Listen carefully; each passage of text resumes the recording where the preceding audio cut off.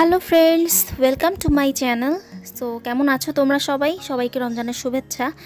তো, বন্ধুরা, আমি হচ্ছে তোমাদের জন্য আজকে খুব ইজি এবং খুব মানে ইজি গ্রো হয় এরকম কিছু টিপস নিয়ে হাজির হয়েছি। কারণ তোমরা সবাই জানো যে আমি ছাদ বাগান করতে খুব ভালোবাসি। আমার নিজের গার্ডেনিং আছে ছাদে। ছোট্ট একটা ছাদ আমি সেখানে সাজিয়েছি আমার পছন্দ মতো গাছগুলোকে।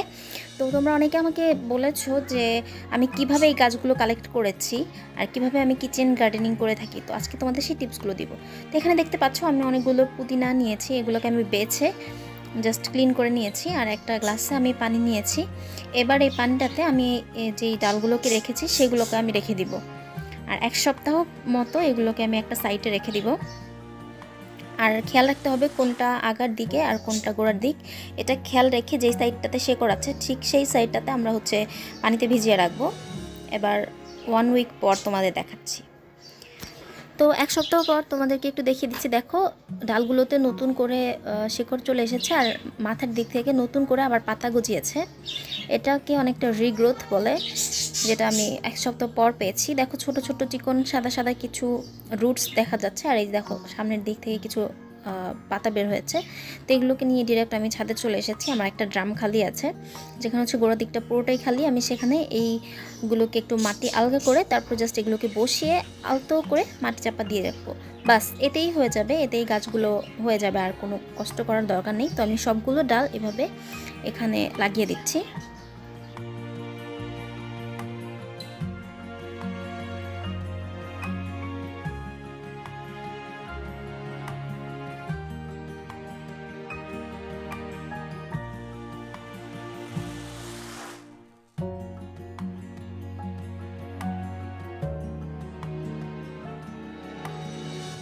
ব্যাস, আমার কাজ শেষ, যেহেতু মাটিটা ভেজা, আমি আর পানি দিচ্ছি না, আর তোমরা শুকনো মাটিতে লাগালে সেক্ষেত্রে পানি দিবে। তো এখন আমি সেম ওয়েতে কিছু আদার হচ্ছে গাছ হয়েছিল। তো আমি সেই আদার যেই মুখটাতে গাছ হয়েছে, সেই মুখটা একটু আদা সহ সামান্য একটু আদা সহ কেটে এভাবে নিয়েছি। আর এবার একটা পলি ব্যাগে আমি মাটি ভরে নিয়েছি। তোমরা চাইলে টবেও করতে পারো বাট আদা যেহেতু বড় হলে আমি এটাকে ইজিলি ঝেড়ে বের করতে পারব। এই জন্য আমি পলি ব্যাগে করেছি। আলুও তোমরা সেম ওয়েতে এভাবে পলি ব্যাগ করতে পারো। আলুতেও দেখবা যে কিছুদিন পর রাখার পরে বাসায় এরকম গাছ গ্রো হতে থাকে, তো সেই আলুগুলোকে এভাবে একটু আলু সহ কেটে তোমরা এভাবে পলি ব্যাগে লাগাতে পারো। সেক্ষেত্রে যখন গাছটা বড় হয়ে যখন হলুদ হয়ে যাবে, তখন এই গাছগুলোকে তুললে তোমরা গোড়া থেকে আদা, আলু এই ধরনের সব কিছু কালেক্ট করতে পারবে। তো আমি তোমাদেরকে জাস্ট সুবিধার্থে একটু দেখিয়ে দিচ্ছি। তো এভাবে করে তোমরা খুব সহজেই কিচেন থেকেই কিচেন গার্ডেনিংয়ের জিনিসপত্র কালেক্ট করতে পারবে, বিশেষ করে বীজ, তারপর এই ধরনের গাছগুলো। এবার আমি তোমাদেরকে দেখাবো পেঁয়াজ। পেঁয়াজটা আমি জাস্ট তোমাদের একটু ধারণা দিচ্ছি। কারণ তোমরা আমার বেলকনিতে দেখেছ, আমি এভাবে পেঁয়াজটাকে সামনের যেই মাথার দিকটা মাথার দিকটা একটু পেঁয়াজ সহ কেটে জাস্ট এটাকে লাগিয়ে দিচ্ছি। এটা অবশ্য আমরা উচ্ছিষ্ট অংশ হিসাবে ব্যবহার করি, এটা ফেলে দেওয়া হয়। তো তোমরা চাইলে এভাবে আরেকটু পেঁয়াজ সহ মানে বাকিটা ইউজ করবে, আর মাথার দিকটা এভাবে লাগিয়ে দিতে পারো। এখান থেকে আবার নতুন পেঁয়াজ বের হবে। আর তোমরা এভাবে স্প্রিং অনিয়ন গ্রোথ করতে পারো। আর এভাবে আমি আমার বেলকনিতেও পেঁয়াজ গাছ রোপণ করেছি। তোমাদের সাথে আমি একটা বেলকনির ভিডিও তোমরা চাইলে দেখতে পারো আমার। আর এখানে হচ্ছে ধনিয়া পাতা গাছ নিয়েছি। এটাকে আঞ্চলিক ভাষায় বলে বিলেতি ধনিয়া পাতা গাছ। তো এই বিলেতি ধনিয়া পাতা গাছটার হচ্ছে পাতাটা হচ্ছে আমরা কাজে, রান্নার কাজে ইউজ করে থাকি। আর গোড়ার যে অংশটা, এটা আমরা ফেলে দেই। তো বেছে নেওয়ার পর এটাকে ফেলে দেওয়ার কোনো প্রয়োজন নেই। আমি বলব এই রুটটাকে তোমরা জাস্ট মাটিতে রোপণ করে দিলেই কাজ হয়ে যাবে। যেভাবে আমি পুদিনা রোপণটা দেখিয়েছি। তো এবার আমি অন্য কিছু দেখাচ্ছি যে তোমরা কীভাবে কিচেন থেকেই কিচেন গার্ডেনিংয়ের জিনিসপত্র কালেক্ট করবে। তো এখানে হচ্ছে আমাদের বাসায় কিছু এটাকে কি বলে? কলমি শাক। তোমরা জানো আমি পাখি নিয়ে এসেছি, আমার বাসায় কিছু পাখি আছে। তো এরা হচ্ছে এই কলমি পাতাটা খেতে পছন্দ করে। তো এই পাখিদেরকে আমি হচ্ছে আগার দিকের কলমি পাতাগুলোকে ছিঁড়ে ছিঁড়ে দিই। তখন পাখিগুলো এই শাকটাকে খেয়ে নেয়। তো এরপর যে এক্সট্রা ডাটাটা থাকে, এগুলোকে চিন্তা করলাম আমি আমার ছাদেই রিগ্রোথ করব। তো এই ডাটার দিকে শেকড় আছে, তোমরা চাইলে এখনই লাগিয়ে দিতে পারো। তবে এখন যেহেতু আমি রাতের বেলা শ্যুটটা করছি তো এখন কোনোভাবেই আমার রাতের বেলা ছাদে যাওয়া মানে ইচ্ছা নেই।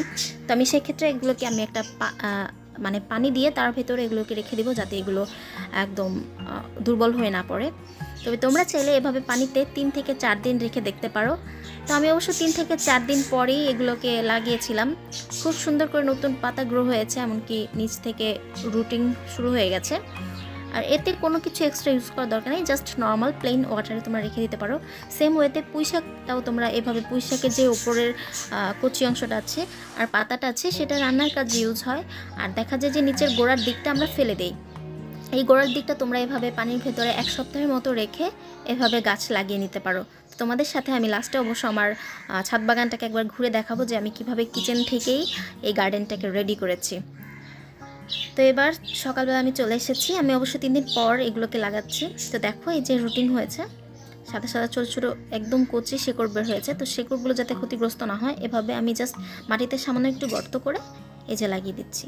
আর তিন দিনে একদম উপর থেকেও পাতা ভালোভাবে বের হয়েছে। আর এই যে আগে থেকে লাগানো কিছু কলমি তোমরা দেখতে পাবে। এই দেখো, নতুন করে একটা গাছ বের হয়েছে। আর এই যে আগে থেকে লাগানো দেখছ, এগুলোকে আমি আগে লাগিয়েছিলাম দুটো ডাল। জাস্ট ট্রাই করার জন্য যে দেখি গাছ হয় কি না খুব ভালো মতো গ্রো হয়েছে। এভাবে লাগালে আমি আশা করছি তোমরাও ভালো ফল পাবে।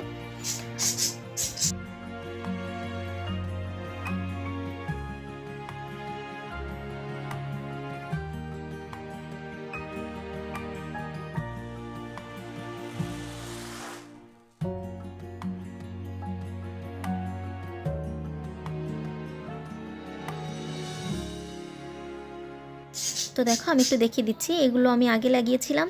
পুরোটা নতুন করে আবার পাতা চলে এসেছে।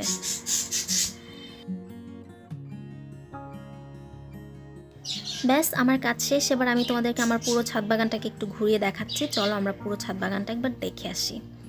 এই যে দেখতে পাচ্ছ, এখানে মরিচ গাছ লাগিয়েছি আর এখানে আমি করলা গাছ লাগিয়েছি। তো যখন আমাদের বাসায় বাজার থেকে ভালো জাতের করলা বা মরিচ আনা হয়, তখন সেখানে কিছু পাকা দেখবা অনেক সময় পাওয়া যায়। পাকা করলার বিচি পাওয়া যায়। তো আমি হচ্ছে পাকা মরিচ বা পাকা করলা সেটাকে আমি বিচি কালেক্ট করে বীজগুলোকে আমি জানালার পাশে অথবা একটু রোদ সাইডে রেখে দিই। তো দেখা যায় তিন, চার দিন পর সেটাকে যেদিন আমি লাগাবো, তার আগের দিন রাতে আমি হচ্ছে পানিতে ভিজিয়ে রাখি, পরের দিন আমি জাস্ট মাটিতে রোপণ করে দিই। এভাবেই আমি আমার প্রত্যেকটা গাছ কালেক্ট করেছি, আর তোমরা জানো আমার ছাদ বাগান থেকে আমি অনেক সবজি কালেক্ট করি। প্রত্যেকটা কালেকশনের ভিডিও আমি তোমাদের সাথে শেয়ার করি, যে আমি কীভাবে এগুলো কালেক্ট করি বা হারভেস্টিং করি। তো এখানে দেখতে পাচ্ছ একটা লাউ গাছ। তো আমি এই টালটা ছিল না, আগে আমি পরে দিয়েছি। আর এই যে সিম দেখতে পাচ্ছ, এই সিম গাছটাও আমি বীজ থেকেই গ্রো করেছি। তো আশা করব আমার আজকের ভিডিও তোমাদের কাছে ভালো লাগবে। কারণ আমি খুব সহজে কীভাবে ইজিভাবে একদম বাজার থেকে বীজ আনা ছাড়া বা বীজ কালেকশন করা ছাড়া কীভাবে ঘরেই তোমরা কিচেন থেকেই জিনিসপত্র কালেক্ট করে এভাবে লাগাতে পারো, আমি সেটাই তোমাদেরকে দেখাচ্ছি। আর এই যে দেখতে পাচ্ছ, এখানে এই শাকটা হচ্ছে আমি তোমাদেরকে লাস্ট একটা ভিডিওতে দেখিয়েছিলাম যে আমি তিন চার দিন আগে কালেক্ট করেছি। এটা এতটাই ইজি টু গ্রো তোমরা যেখানেই লাগাবে দেখবা এক সপ্তাহ পর আবার নতুন করে পাতা আসা শুরু করে দিবে। তো আমি প্রতি সপ্তাহে একবার করে কাটিং করি, আবার নিউ সপ্তাহে আবার নতুন করে পাতা আমি পেয়ে যাই। আর এই যে মরিচ গাছগুলো দেখতে পাচ্ছ, এগুলো হচ্ছে আমার বাসায় কিছু শুকনো মরিচ আনা হয়েছিল। তো শুকনো মরিচ আমরা রান্নার কাজে ইউজ করে দেখা যায় নিচের দিকে কিছু বিচি জমে থাকে কেনার পরে। পলি ব্যাগে করে যখন আমরা কালেক্ট করি, এই মরিচগুলো দেখবা যে অনেক সময় বিচি থাকে, আবার অনেক সময় ভালো জাতের মরিচ যেটা তোমাদের কাছে একটু ভালো মরিচ মনে হবে মানে ভাঙা না পোকায় কাটা এরকম মরিচ না। একদম ভালো, সুস্থ একটা মরিচ নিয়ে তোমরা সেটার বিচিগুলোকে জানালার পাশে রেখে দিবে কয়দিন শুকানোর জন্য। আর যেদিন তোমরা রোপণ করবে তার ঠিক আগের দিন রাতে ওভারনাইট এটাকে ভিজিয়ে রাখবে, সকালবেলা রোপণ করে দিলেই এরকম মরিচ গাছ তোমরা পেয়ে যাবে। তো দেখো এই মরিচটাও আমি মানে এই গাছটাও আমি বীজ থেকে গ্রো করেছি।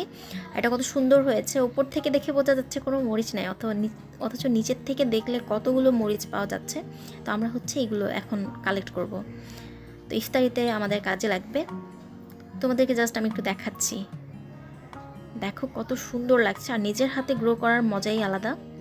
এগুলো হচ্ছে একদম কোনো কস্ট ছাড়া, কোনো বাজেট ছাড়া, একদম কিচেন থেকেই তোমরা এই সব কালেক্টগুলো করতে পারো। আর তোমরা যাদের ছাদ বাগানে ছাদ করতে পারছ না বা ছাদ নেই লাগানো ছাদে এইগুলো গাছ লাগানোর কোনো মানে সিস্টেম নাই। তাদেরকে আমি বলব, যাদের বেলকনিতে অনেক আলো বাতাস আসে, তারা বেলকনিতেও এগুলো গ্রো করে নিতে পারো। তো আমি হচ্ছে বেশিরভাগ গাছই সিট থেকে অথবা বাজার থেকে কিনে আনা সবজি থেকে আমি এভাবে রিগ্রোথ করি। কারণ এটা হচ্ছে আমার একটা চ্যালেঞ্জের মতো, দেখি হয় কি না, এভাবে লাগিয়ে দেখি যে আমার হাতে খুব ভালোই গাছ গ্রো হয়, আলহামদুলিল্লাহ। তো তোমাদের সাথেও চিন্তা করলাম, একটু শেয়ার করি। আর তোমরা চাইলে তোমাদের যেটা বলছিলাম, বেলকনির কথা, তোমরা চাইলে বেলকনিতে আলো বাতাস বেশি আসলে তোমরা বেলকনিতে অয়েল কন্টেনারগুলোকে ইউজ করতে পারো, যদি টব না থাকে। তো দেখা যায় আমাদের বাসায় অনেক সময় অয়েল কন্টেনারগুলো অনেক জমে যায়, তো সেগুলোকে ফেলে না দিয়ে তোমরা এগুলোকে কেটে তারপর মাটি দিয়ে ভরাট করে তারপর লাগাতে পারো। আর মাটির সিস্টেমটা আমি তোমাদেরকে একটু বলে দিচ্ছি, মাটির সাথে যতটুকু পরিমাণ মাটি নেবে মানে যতটুকু পরিমাণ তুমি গাছটাকে লাগাবে, তার আগে কন্টেনারের তিন ভাগের এক ভাগ মাটি তারপর হচ্ছে আরেক ভাগ রাখবে বালু, আরেক ভাগ রাখবে গোবর সার। এই তিনটা মিক্স করে তারপর জাস্ট পটটাকে ভরাট করে তারপর গাছগুলোকে রোপণ করে দিবে। আই থিঙ্ক তোমাদের গাছ অনেক ভালো হবে। আর আমি অনেক ভালো রেজাল্ট পেয়েছি এই গাছগুলো লাগিয়ে। তোমাদের সাথে জাস্ট একটু শেয়ার করলাম। আর আমি সেম যেই মাটির যেই মিক্সটার কথা বললাম, আমি সেম মাটিটা ইউজ করে দেখো, এখানে ফুলের গাছ লাগিয়েছি, কিছু পাতাবাহার প্ল্যান্টও লাগিয়েছি। সো এখন যেহেতু বর্ষার সিজন অনেক নোংরা হয়ে গেছে, এগুলোকে আমার ক্লিন করতে হবে। তোমাদের সাথে আমি দুইটা, আমার পছন্দের দুইটা গাছ আজকে শেয়ার করব। যে আমার পছন্দের দুইটা গাছ দেখিয়ে দিচ্ছি। এই দুটোর চারা অবশ্য আমি বৃক্ষ মেলা থেকে নিয়ে এসেছিলাম। তো এক সামনের বার ফুল এসেছিল বাট সেই ফুলগুলো ঝরে যাওয়ার পর এখন নতুন করে আবার ফুল এসেছে। এই দেখো, এটা আমার মাধবীলতা গাছ। আর আমার খুব পছন্দের একটা গাছ এটা। মাধবীলতা আর শিউলি ফুল, এই দুটো আমার খুবই পছন্দের। তো এই যে দেখো আমার মাধবীলতা গাছে ফুল এসেছে। এগুলো একদম ফাস্ট রুটিং হয়েছে। প্রথম ফুলটাই আমি তোমাদেরকে দেখাচ্ছি। আর অন্যান্য ডালগুলোতেও যে কলি দেখা যাচ্ছে আরও ফুল এসেছে।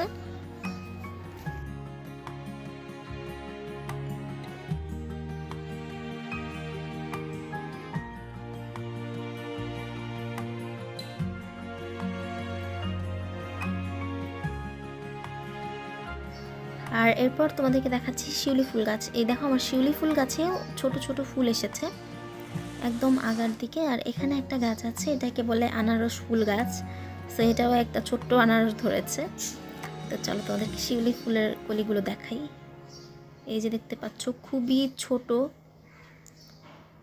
এটা হচ্ছে ফার্স্ট টাইম না। এর আগে যখন এনেছিলাম, তখন একবার ফুটেছিল। তবে গাছটা যেহেতু ছোটো, এই জন্য খুব অল্প পরিমাণে ফুল দেয়। কিন্তু যখন দুটো একটা ফুল ফুটে, সেটার মানে রাতের বেলায় এটার মানে গ্রানটা অনেক তেজ হয়, অনেক বেশি হয়। তো রাতের বেলা আমরা আসি ছাদে। আর খুবই ভালো লাগে আমার কাছে এই গাছটা। তো তোমাদের সাথে একটু শেয়ার করে দিলাম। তো বন্ধুরা, আমার আজকে ভিডিওটা কেমন লাগল জানাতে ভুলবেন না। আশা করব তোমাদের সবার কাছে খুবই পছন্দ হয়েছে আমার ছাদ বাগানটা। যদি ভালো লেগে থাকে ভিডিওটা, অবশ্যই আমার ভিডিওতে একটা লাইক দিবে। আর আমার চ্যানেলটাকে সাবস্ক্রাইব করে আমার ভিডিওগুলো দেখবে। চিন্তা করি তোমরা আমাদের সামনে যে ভিডিওগুলো দেখব, সেগুলো আশা করি তোমাদের খুব ভালো লাগবে। সো আমার নতুন ভিডিওগুলো পেতে সাবস্ক্রাইব করে, তার পাশে বেল আইকনটি ক্লিক করে দিবে। তো বন্ধুরা, আজ এ পর্যন্তই। Take care and by